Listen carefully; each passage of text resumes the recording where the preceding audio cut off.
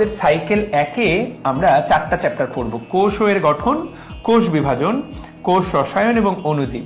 এই চারটা চ্যাপ্টার এই মুহূর্তে তোমরা যারা আমার চোখের সামনে আছো, আমি জানি যে তোমরা অনেকেই অনেকেই অনেক বড় বড় স্বপ্ন দেখছ এবং তোমরা এক একজন এক এক স্কুল থেকে এসেছ, দেশের এক এক জেলা থেকে, কারও কারও বাসায়, কারও কারও বাসায়, কারও কারও বাসা উপজেলাতে, কারও কারও বাসা উপজেলাতেও না, কারও কারও বাসা গ্রামে, কারও কারও বাসা হলো বিভাগে এবং এই মুহূর্তে আমার চোখের সামনে যারা আছো হতে পারে, কারও বাসা আমাদের রাজধানী শহর ঢাকাতে।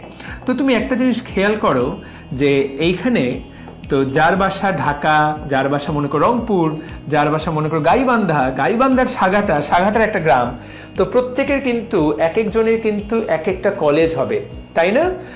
এই এক একজনের কিন্তু এক একটা কলেজ হবে এবং এক একজন কিন্তু এক এক রকম শিক্ষকের এক্সপোজার পাবে এক এক রকম শিক্ষকের এক্সপোজার পাবে এবং কলেজের মান কিন্তু আলাদা হবে। কোনো সন্দেহ নাই যে সাধারণত ঢাকায় বেশি বেশি ভালো ভালো কলেজগুলো আছে। তুমি যদি ভালো কলেজের কথা চিন্তা করো, তাহলে ঢাকায় সংখ্যাটা বেশি। বিভাগীয় শহরে একটু কম, জেলা শহরে তার চেয়ে কম, উপজেলায় কম আর গ্রামে তো নাই। ভালো কলেজ তো গ্রামে নাই। কিন্তু তোমাদের অনেকেরই কিন্তু এই সুযোগটা হবে না।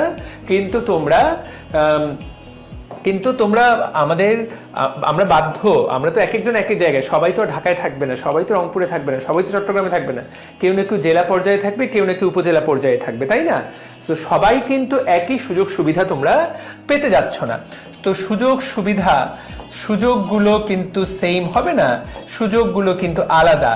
এবং যারা মনে করো এক ঢাকায় থাকবে বা যারা বিভাগীয় শহরে থাকবে বা জেলা শহরে থাকবে, কোনো সন্দেহ নাই, তারা সুযোগটা কিছুটা বেশি পাবে, কারণ তারা এক্সপোজারটা বেশি পাবে। তাই তো? তারা এক্সপোজারটা বেশি পাবে। এই বিষয় এটা কিন্তু একদম সত্য। এটা তুমি চাইলেও অস্বীকার করতে পারবা না। এটা কিন্তু একদম সত্য। বাংলাদেশে যে বাচ্চাটা জন্মায় আর আমেরিকায় যে বাচ্চাটা জন্মায়, জন্মের দিক দিয়েই কিন্তু সে কিছুটা, আমেরিকা জন্মে কিছুটা হলেও অ্যাডভান্টেজ পেয়ে যায়। অ্যাডভান্টেজ পায় বেশ কিছু ইস্যুতে তো সেটা যাই হোক যেমন করে ইংল্যান্ডে যে যে বাচ্চাটা জন্মায়, সে ছোটবেলা থেকে ইংরেজি বলতে পারে। আর আমাদেরকে কষ্ট করে ইংরেজি শিখতে হয়। আমাদেরকে সেকেন্ড ল্যাঙ্গুয়েজ হিসেবে শিখতে হয়। আর ওরা ওরা কি করতে হয়? ওরা ওরা ছোটবেলা থেকেই জানে।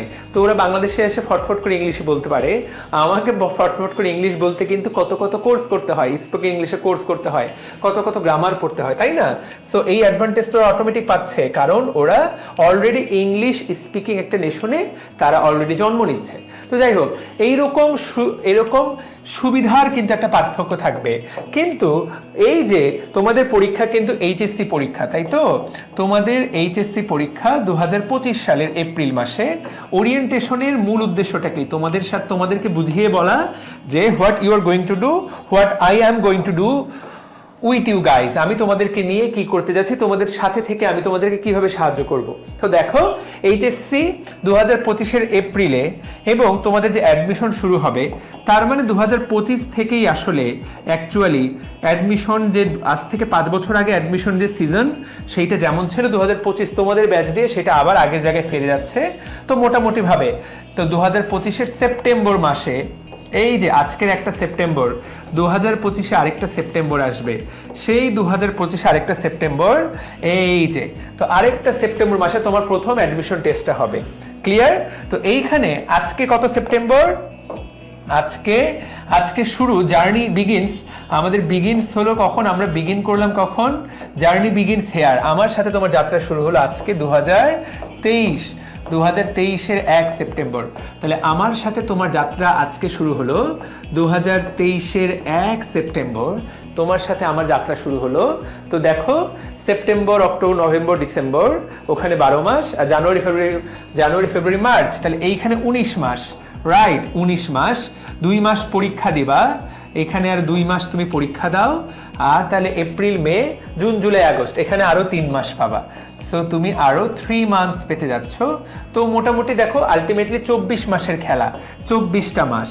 এই চব্বিশ মাস শেষে দেখো টোটাল তাহলে তোমার আজকে যে যাত্রাটা শুরু হলো, তুমি অ্যাডমিশন টেস্ট প্রথম অ্যাডমিশন টেস্ট হবে মেডিকেল ভর্তি পরীক্ষা।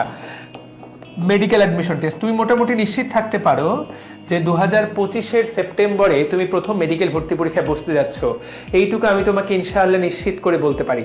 হুম, তো যদিও ডেট একটু এদিক সেদিক হতে পারে, সেপ্টেম্বর অক্টোবর হতে পারে, কিন্তু তুমি গুনে গুনে এই চব্বিশ মাস সময়ই পাবা তোমার স্বপ্নটা পূরণ করার জন্য। এবং দেখো, সুবিধার পার্থক্য থাকতে পারে।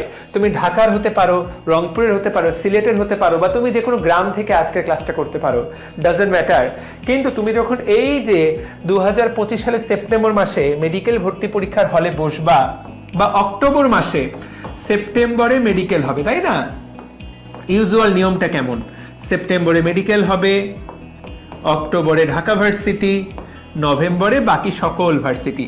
যেহেতু বুয়েট বা ইঞ্জিনিয়ারিং এর সাথে বায়োলজি নাই, আমি সেই বিষয়ে আর কথা বাড়ালাম না। তো দেখো, তুমি সব মিলায় চব্বিশ মাস, পঁচিশ মাস, ছাব্বিশ মাস সময় পাচ্ছ, তখন কিন্তু এই যে পরীক্ষার যে প্রশ্নটা হবে, সেই প্রশ্নে কিন্তু কোথাও বলা থাকবে না যে তুমি কোন কলেজের স্টুডেন্ট তুমি নটরডেম কলেজের স্টুডেন্ট না ভিকারুনেসের স্টুডেন্ট না হলিক্রসের স্টুডেন্ট না সেন্ট জোসেফের না রাজুকের না রংপুর ক্যান পাবলিক না চিটাগাং কলেজ নাকি খুলনা খুলনার বিখ্যাত কোনো কলেজ নাকি সিলেটের কোনো বিখ্যাত কলেজ নাকি বরিশালের কোনো বিখ্যাত কলেজ এইগুলা কিন্তু এইগুলা কিন্তু একটাও এই তোমার প্রশ্নপত্রে যাচাই করা হবে না। প্রশ্নপত্রে যাচাই করা হবে, তুমি কতটুকু বইয়ের উপরে বস? আমি তোমাকে একদম ক্লিয়ারলি বলে দিলাম, তুমি কতটুকু বইয়ের উপরে তোমার কতটুকু বইয়ের উপরে তোমার দক্ষতা?